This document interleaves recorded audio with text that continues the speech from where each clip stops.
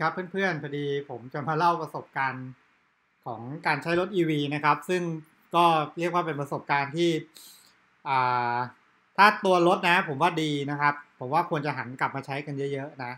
เพราะว่าก็ช่วยลดโลกร้อนเนาะแล้วอีกต่อไปก็คือเกี่ยวกับการปลดปล่อยคาร์บอนใช่ไหมครับ ทีเนี้ย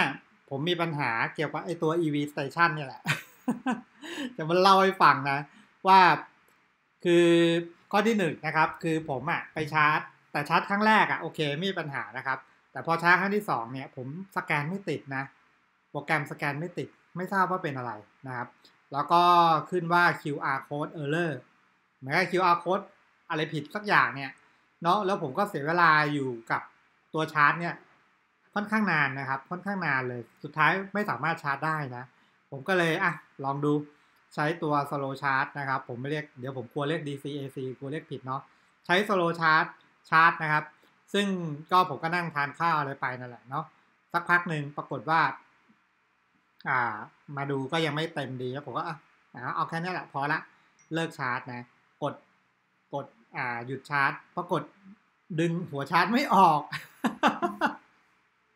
ดึงหัวชาร์จไม่ออกนะครับ ผมก็ไม่รู้จะทำยังไงก็เลยไปเรียกทางเจ้าหน้าที่นะครับ แต่ว่าผมก็เจ้าหน้าที่ก็กำลังจะมาละผมก็ลองดูนะว่า จะแก้ปัญหายังไงเนาะผมก็เลยลองชาร์จมันอีกรอบหนึ่งก็คือดึงไม่ออกก็ชาร์จมันไปอีกรอบนึงเนี่ยแหละนะพอชาร์จไปอีกรอบหนึ่งปุ๊บแล้วผมก็กด กดหยุดชาร์จเอาคราวคราวที่สองนี่ดึงออกอะเออนะครับ คือผมว่าตรงเนี้ยปตทอาจจะต้องทำอะไรบางอย่างนะนะครับ ข้อแรกก็คือการชาร์จ เพราะว่าตอนก่อนหน้านั้นมีมีคนมาชาร์จอีกอีกท่านหนึ่งเป็น MG นะ ก็ชาร์จไม่เข้าเหมือนกัน นะครับ ชาร์จแล้วตัดชาร์จแล้วตัดนะอาแต่ผมอาจเจอปัญหาว่าสแกนแล้ว QR code ผิดชาร์จไม่ได้ เออนะครับ ก็ยังไงก็ฝากนิดนึงนะครับ เพราะว่าเขาเรียกว่า ecosystem ของการที่จะให้คนมาใช้รถยนต์ไฟฟ้าเนี่ย มันจะต้องพร้อมด้วยใช่ไหมครับ ตอนแรกผมมีรถสองคันที่บ้านนะ คันหนึ่งเป็น plug in hybrid คันหนึ่งเป็นอ่า eco car ส่วนคันน้ำมันนี่ผมพอดียกให้น้องสาวไปใช้นะครับ ผมกล่าวว่าเอ้ยคราวหน้าผมก็จะเปลี่ยนเป็นไฟฟ้าล้วนเลย นะ ที่ไหนได้นะ ตอนนี้ผมต้องมานั่งดูว่า เออเฮ้ยขอเวลาดูอีกสักปีสองปีเนาะว่าตกลงการชาร์จเนี่ย มันจะทำให้ดีขึ้นกว่านี้ได้ไหมเนาะดีขึ้นกว่านี้ได้ไหมนะ ก็ผมผมถือว่ามันเป็นยุคเริ่มต้นกันละกันนะ แล้วก็หวังว่าทาง